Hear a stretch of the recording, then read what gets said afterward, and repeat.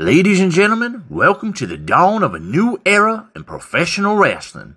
I'm Jackson Brooks, the owner of Global Wrestling Organization, or GWO for short. And today we're kicking off this new chapter of wrestling history. This is GWO Day 1. Right now, some of y'all might be thinking, wait a minute, what happened to CPW?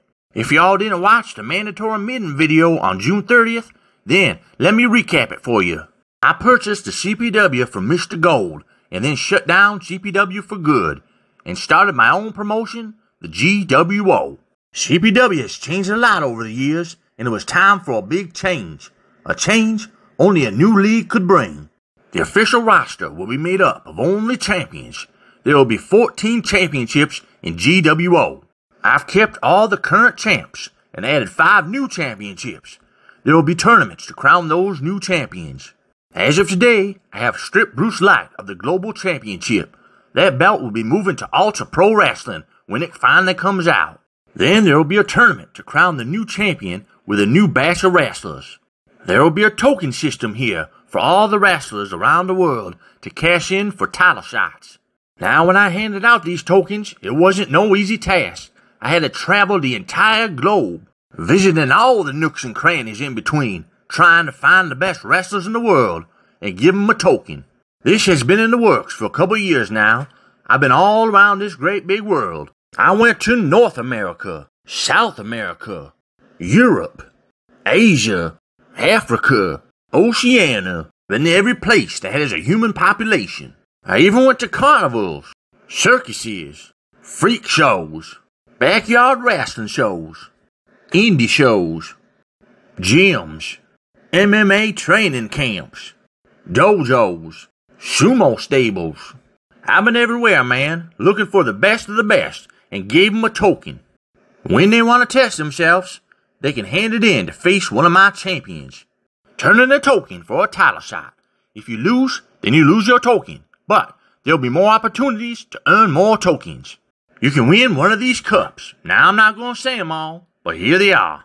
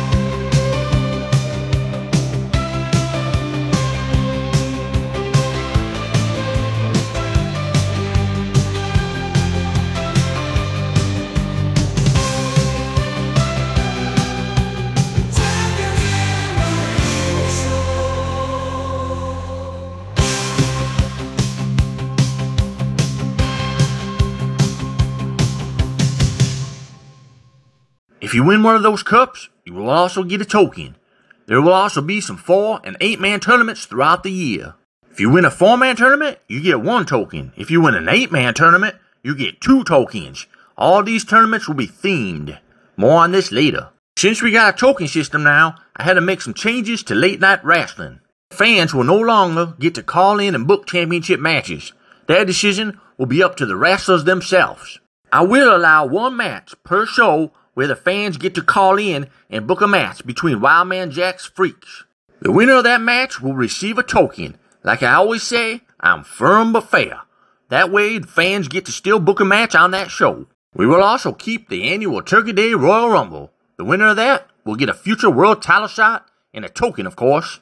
We won't have any pay-per-views other than matches for cups and tokens. Every match in GWO will be for a championship. As a matter of fact, you win a match in GWO, you get something. We will have two TV shows, Late Night Wrestling and Championship Showdown.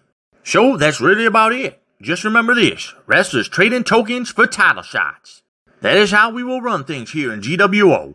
The tournaments will begin this month. Then, shows start up after they complete. Welcome to GWO Day 1.